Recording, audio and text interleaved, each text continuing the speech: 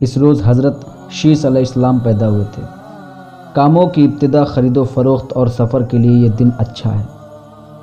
बादशाहों हकीमों की हुजूरी में न जाएँ, गुमशुदा अशिया जल्द दस्तियाब हों।